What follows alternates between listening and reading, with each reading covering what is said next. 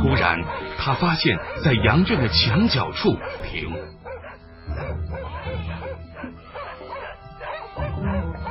不会有什么东西躲在暗处。他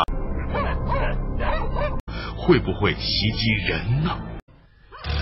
在忐忑不安中，天终于亮了。亚历坤赶紧找了几个村民，一起向狗叫的地方走过去。他们。